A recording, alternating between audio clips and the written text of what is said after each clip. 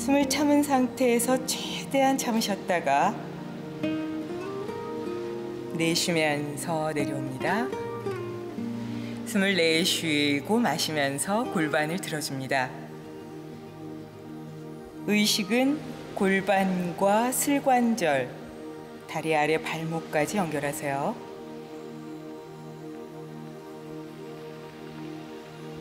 내쉬면서 내려옵니다. 방향을 바꾸겠습니다.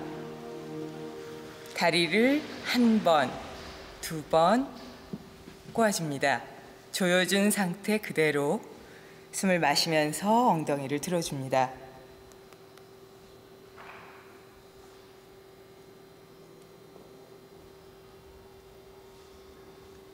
내쉬면서 내려오세요. 불편하신 방향을 2, 3회 더 반복해 보세요.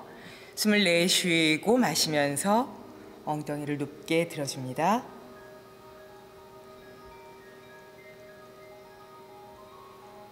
최대한 참으셨다가 참기 힘들 때 숨을 내쉬면서 천천히 내려오셔서 눈 송장체 위로 편안하게 휴식을 취합니다.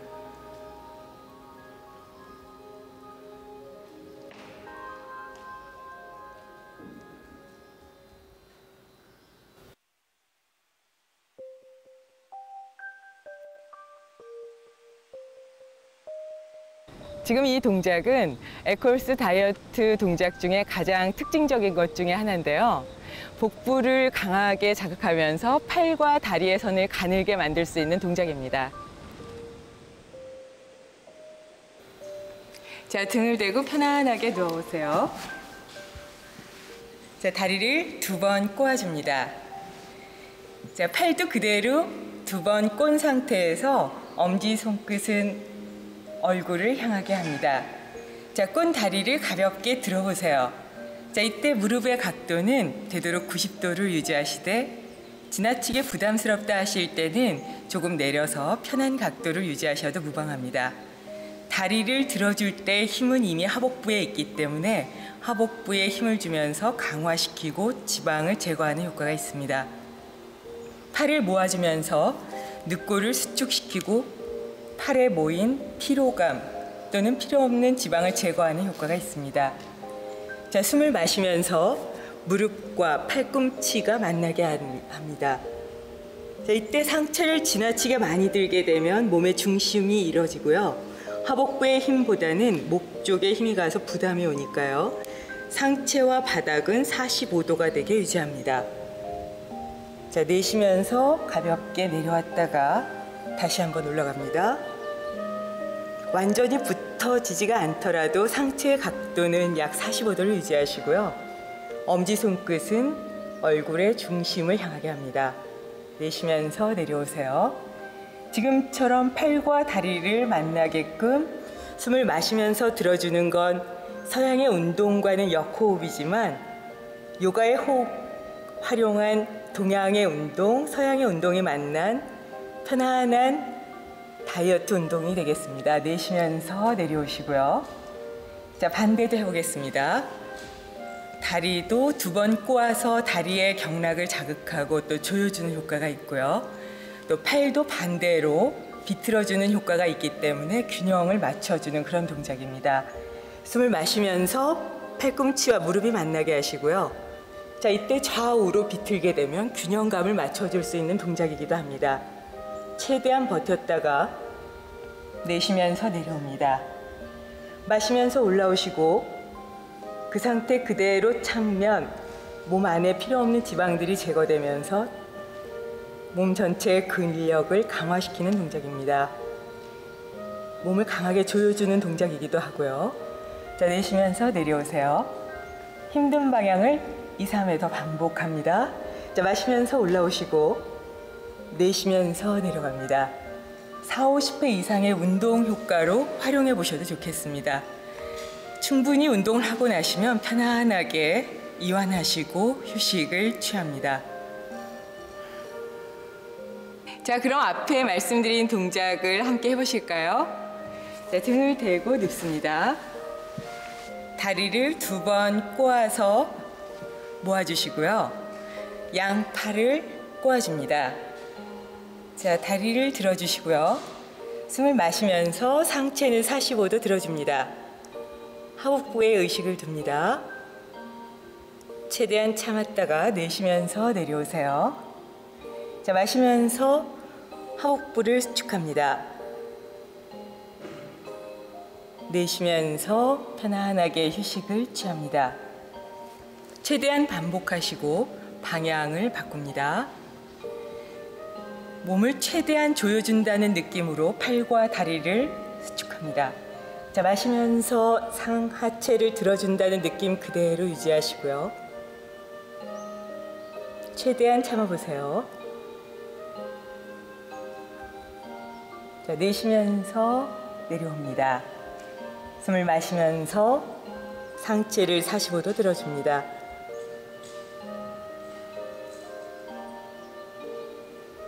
내쉬면서 내려오시고 편안하게 휴식을 취합니다.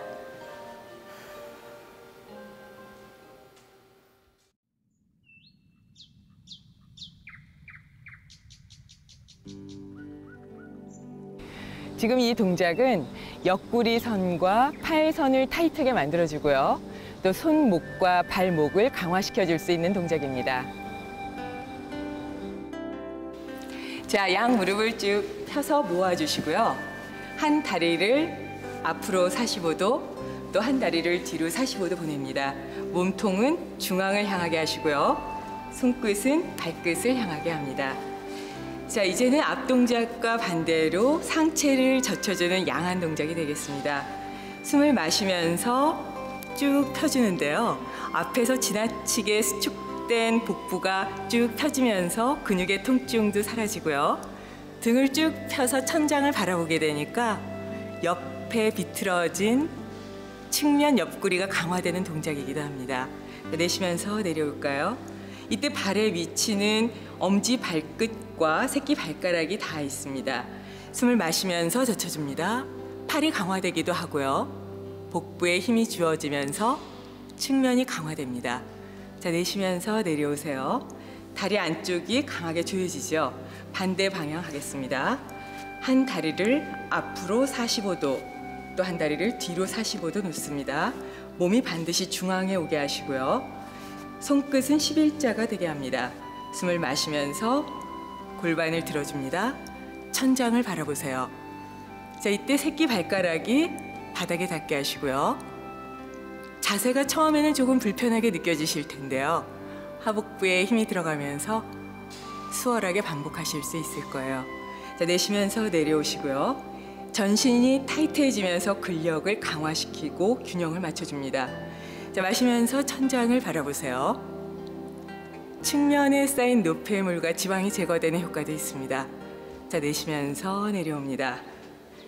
자세를 풀어줍니다.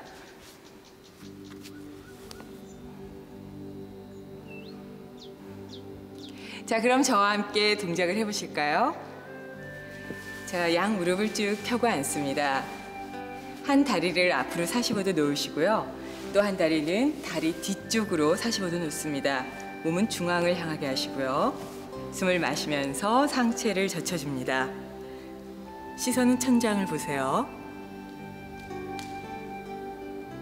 내쉬면서 내려옵니다. 숨을 내쉬고 마시면서 젖혀줍니다. 의식은 하복부에 두시고 팔과 다리 쪽에 힘을 나누어줍니다. 내쉬면서 내려옵니다. 필요하신 양만큼 충분히 반복되시면 방향을 바꿔줍니다. 앞뒤로 45도 놓으시고요. 숨을 마시면서 젖혀줍니다. 내쉬면서 내려오세요. 손끝이 11자가 되었는지 잘 보시고요. 자, 마시면서 젖혀줍니다. 발에 측면이 닿게 하세요. 내쉬면서 내려오시고 충분한 양이 반복되고 나면 편안하게 휴식을 취합니다.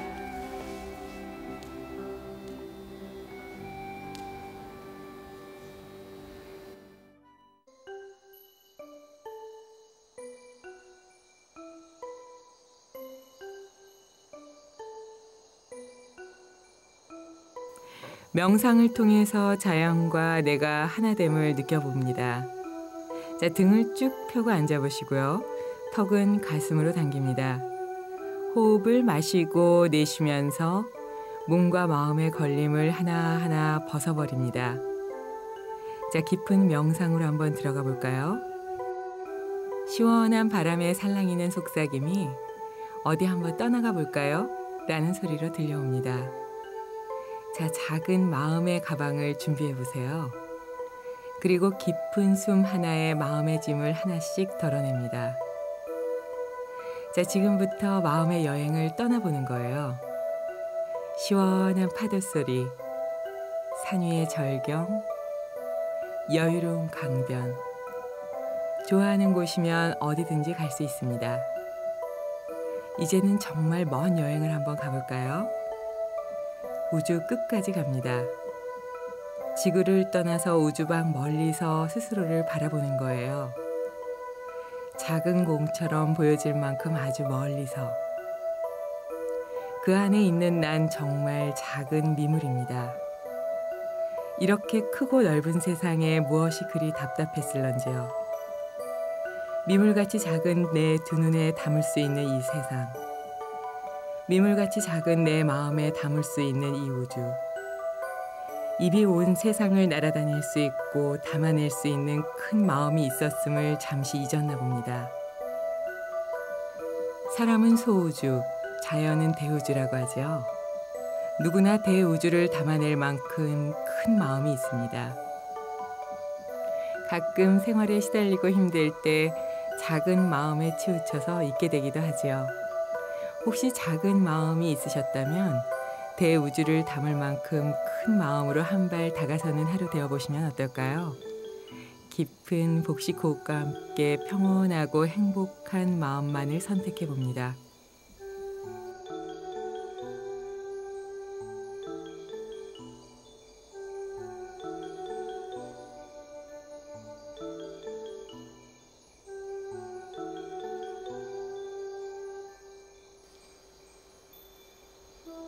원래 갖고 계신 내면의 맑고 깨끗한 빛 그대로. 원래 갖고 계신 내면의 아름다운 향기 그대로. 원래 갖고 계신 내면의 비워진 마음 그대로.